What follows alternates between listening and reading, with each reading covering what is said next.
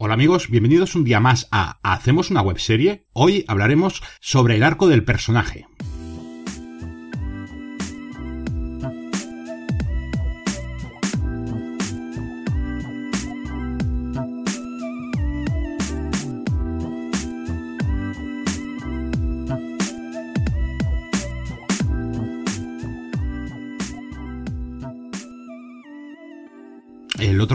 Televisión Española proyectó Los Odiosos 8, una de las, desde mi punto de vista, mejores películas que se han hecho en la historia del cine.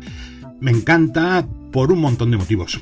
Principalmente porque es una película muy austera, apenas dos localizaciones, la diligencia de OB yendo a Red Rock y la mercería de Mini. Básicamente con esas dos localizaciones, Tarantino solventa toda la película. Austeridad también en el número de personajes, realmente, aparte de los, de los odiosos ocho, de los ocho personajes protagonistas, luego pues pocos más, pero sobre todo porque es una película muy teatral, en la cual, pues, dado estas dos premisas, que son principalmente teatrales, generalmente en el cine se suele utilizar muchos extras, muchas localizaciones, en cambio en el teatro, pues no queda más remedio, por las propias características del, del teatro, de utilizar pocas localizaciones generalmente pocos personajes y que los personajes sean profundos, sean redondos y tengan un arco de transformación, que es lo que vamos a hablar ahora. El arco de personaje, el arco de transformación, depende de qué autor lo nombra de una manera o de otra, es básicamente el cambio de, en la personalidad, en la forma de ver, en la forma de actuar de los distintos personajes que aparecen en la historia. A medida que van ocurriendo cosas, los personajes cambian. Básicamente como nos ocurre a todas las personas.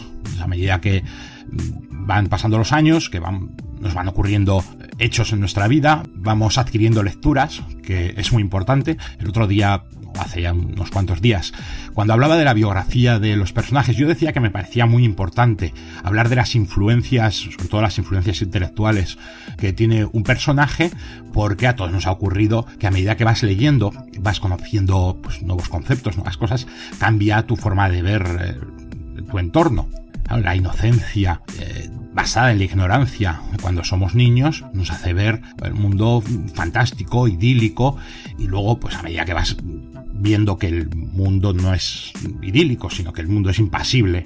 No porque esté en tu contra, que es lo que plantean algunos, es que eh, me discriminan por esto, me discriminan por lo otro, es que, bueno, la típica excusa que todos hemos escuchado en la escuela, eh, la profesora me ha suspendido porque me tiene manía. Pues no, seguramente no te tendrá manía, seguramente si te tuviera manía te aprobaría, para que luego cuando llegues al mercado laboral eh, te des cuenta que has vivido en una burbuja y te des el gran batacazo. En cambio, si un profesor o una profesora te suspende, suele ser precisamente por profesionalidad y porque eh, te prepares para ese mundo impasible que comentaba. Ya digo, el, mercado laboral no es ni bueno ni malo, eh, ni nadie está en contra de nadie, ni... Bueno, pues, eso es básicamente impasible. Quien más produce, más gana, independientemente de que sea hombre o mujer. Quien más esfuerza, generalmente es quien más escala en, en la empresa. Y si te piensas que por tu cara bonita pues te van a dar las cosas hechas, pues, pues, pues vas mal. Entonces, este mm, cambio de, de, punto de vista que nos ha ocurrido a todos, yo soy el primero, ¿eh? Yo pensaba que como sacaba muy buenas notas en clase y tal, pues mi vida iba a ser mucho más fácil y luego resulta que no, que no solamente te vale con sacar buenas notas, sino que eh, tienes que esforzarte mucho. Otra cosa que nos ha pasado a todos, cuando tus padres pagan la factura de la luz o pagan las cosas, ¿no? no le das tanta importancia al dinero o no te preocupas por esos, por minimizar esos gastos. Por ejemplo, lo que comentaba de la luz es que hace tiempo vi un vídeo que me, resultó muy divertido porque hablaba precisamente de, cómo cuando eres niño pues te dejas la luz encendida y no pasa nada y cuando tu madre te echa la bronca eh, dices joder qué rancia y luego cuando te haces mayor prácticamente recorres la casa a oscuras, eh, a no ser que tengas que encender la luz por lo que sea. Pero mm, cambia pues eso de pensar que eh, pues tu madre se preocupa de cosas intrascendentes a, a empezar a darle importancia a estas cosas. Bueno, pues igual que nos pasa a todos, quería ilustrar con cosas que creo que nos han ocurrido a todo el mundo. A los personajes le pasa lo mismo. Generalmente no en cosas tan nimias, porque sería bastante aburrida la vida de una persona normal. Piensen si su vida eh, podría llevarse al cine. Pues bueno, pues la mía no. Y como la mía, pues seguramente la suya tampoco. Porque no tiene gracia, porque no hay unos conflictos fuertes, porque, bueno, pues bien, te ocurren cosas que a ti te pueden resultar muy importantes, pero bueno, eh, las historias dramáticas, las novelas, el teatro, el cine, eh, hay conflictos mucho más fuertes que lo que nos suelen ocurrir habitualmente. Por lo tanto, el arco del personaje tiene que ser también más marcado y comenzar eh, pues de una manera y que vayan ocurriendo cosas y al final que esas cosas que van ocurriendo a lo largo de la historia y que van transformando a los personajes sean las que ayuden o, o impidan conseguir los objetivos. Yo creo que a nadie le ha cambiado su vida el salir de la cama, ir a oscuras al baño y solamente encender la luz del baño para poder apuntar bien, más que nada. Eh, pero ahorrar tanto encender la luz de su cuarto como la, luz del pasillo. Sin embargo, lo que suele ocurrir en las películas sí que mm, esos cambios, esos eh, hitos que ocurren en la historia de los personajes y que hacen que transformen su personalidad, su forma de ver las cosas, es lo que al final, eh, en el desenlace de la película o de la novela o de la obra de teatro, es lo que le tienen que llevar a mm, poder solventar su conflicto o su objetivo gracias a las experiencias adquiridas. Muchas veces las experiencias es por esfuerzo y otras veces por casualidad. Por ejemplo, no quiero hacer spoiler de ninguna película, sino hablar en términos genéricos, más que nada para que también esto se pueda abstraer y se pueda aplicar si ustedes están escribiendo algo o simplemente pues les interesa el cine y quieren ver pues, con un poco más de profundidad las películas voy a intentar ser lo más abstracto posible para que se pueda extrapolar lo máximo posible. En cuanto a esfuerzo generalmente las películas policíacas o de robos, al final no deja de ser lo mismo visto desde el punto de vista oficialista de la policía que buenos son o los detectives que buenos son que descubren eh, los casos o los ladrones que, mm, bueno, pues quieren, generalmente se suele poner en las películas como gente pues, con cierto punto romántico, eh, pues por ejemplo que roban por una venganza lo que sea, cuando bueno, realmente un ladrón es una persona que no respeta la propiedad de otro, por lo tanto, eh, ese punto romántico que está bien para una película, pues la vida real no suele ser así. Bueno, pues generalmente en estas películas los personajes van mm, esforzándose y consiguiendo hitos por ejemplo, una prueba, por ejemplo, la declaración de un testigo, por ejemplo, investigan las conexiones de los sospechosos con, con otros sospechosos o con, el, con la víctima o con su entorno. Y entonces lleva un trabajo activo de búsqueda de esas pruebas y a medida que va viendo esas pruebas va cambiando su forma de ver las cosas. Claro, aquí luego ocurren cosas a veces esperpénticas.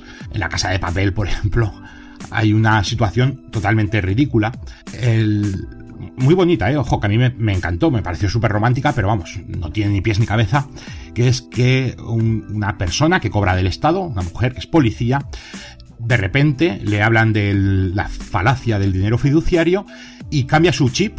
O sea, ojo, ¿eh? una persona que su sueldo sale del cobro de impuestos y vive gracias a ese dinero fiduciario, de repente al descubrir la falacia que consiste el cambio del patrón oro al dinero fiduciario, eh, cambia totalmente su, su, forma de ver las cosas y, bueno, y, se vuelve buena y romántica y anarquista. Hombre, pues... Mmm, no sé ustedes, pero a mí me parece poco creíble. Y ojo, como digo, me parece súper romántico y súper bonito, ¿eh? Se enamora de una persona, esa persona le descubre una situación eh, totalmente mm, falaz y, totalmente nefasta para los ciudadanos. O sea, desde que Nixon en 1970 quita el patrón oro, eh, la economía no deja de ser una falacia y deja de estar en manos de los propietarios de, de ese dinero o de ese oro o de esos bienes a estar en manos de los estados, lo cual, pues, como digo, es absolutamente eh, contraproducente, eh, liberticida y nefasto. Pero bueno, ese es un, cambio y un ejemplo muy claro de cómo una persona, pues, vive en ese conflicto y a medida que va descubriendo cosas va cambiando. Porque aunque haya un cierto toque de azar en esa escena, eh, la verdad es que llega por su propio esfuerzo. Siempre hay azar, o sea, pero estoy en cualquier cosa. Ahora que es el mundial, pues eh, hasta en un lanzamiento de falta hay un punto de azar. Por mucho que haya entrenado mucho un jugador, eh, siempre pues el hecho de que alguien que está en la barrera salte o no salte, que mm, la hierba esté de una determinada manera u otra, o sea, siempre hay muchos componentes de azar. Pero claro, cuanto más entrenas, más suerte tienes, pues por algo será, ¿no? Por un lado está el esfuerzo, y como digo siempre el esfuerzo tiene que ir acompañado de un poco de azar, si no, eh, no ocurriría. Y por otro lado estaría el azar puro y duro para el cambio en la forma de ver las cosas de los personajes. Y aquí, por ejemplo, podríamos volver a la película que comentaba al principio, Los Odiosos 8. Cuando Chris Mannix no bebe el veneno, eh, el mayor Warren lo ve y, cambia su forma, de forma absolutamente radical, la forma de ver a, Chris Mannix. Chris Mannix era una persona totalmente opuesta al mayor Marquis Warren. el mayor Marquis Warren es negro y ha luchado con la Unión. El otro es blanco, eh, racista y confederado. Que, ojo, cuando acaba de terminar una guerra, aparte de la ideología, que también influye mucho, el hecho de haber tenido enfrente a otra persona eh, pegando tiros, con intención de matarte, porque no hay otra cosa en la guerra. Eh, la guerra, pues básicamente se basa en una serie de contendientes eh, se pegan tiros y mueren y bueno pues si tienes la suerte de sobrevivir eh, y, encima pues que no te hayan mutilado o que no hayas caído enfermo esto pues bueno pues eso sí que es puro azar encontrarte con alguien que ha luchado en el otro bando pues tiene que ser jodido aunque muchas veces en las guerras te toca que es lo que suele ocurrir, pues, y, más en una guerra como la, guerra civil americana, en la cual, pues básicamente, o, como la guerra civil española, por haber nacido o por estar viviendo en una determinada zona, pues te ha tocado luchar con unos o con otros. Pero resulta que estos no, o sea que ambos se han alistado de forma voluntaria, ambos eh, firmemente convencidos de sus de las causas que defienden, y entonces, pues obviamente cuando se juntan, pues saltan chispas. Es más, el mayor Marcus Warren, coño, es que estaba viendo a, un tío que después de la guerra aún seguían matando negros. Entonces, eh, pues eso tiene que doler mucho. Pero claro, cuando, cuando casi bebe el veneno y no llega a beberlo, por, por puro azar también, ahí cambia su forma de ver las cosas. Y, es un detonante súper importante, porque se da cuenta de que no, de que no es de los malos. Ya digo, voy a intentar no hacer spoilers, ¿no? Pero simplemente ejemplizar con, con, este caso, porque seguramente ustedes habrán visto eh, los odiosos pero habrá gente que no, que no lo haya visto y no quiero fastidiarles el final porque es apoteósico, la verdad que es.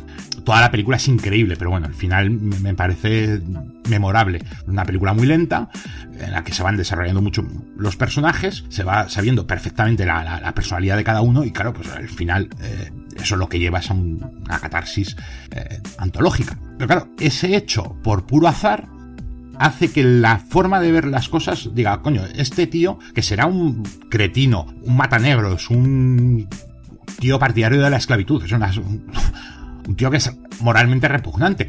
Pero aquí y ahora, en la mercería de Mini, que está cayendo una nevada increíble, que estoy rodeado de gentuza, es del único que me puedo fiar. Hostia, pues es un cambio súper importante.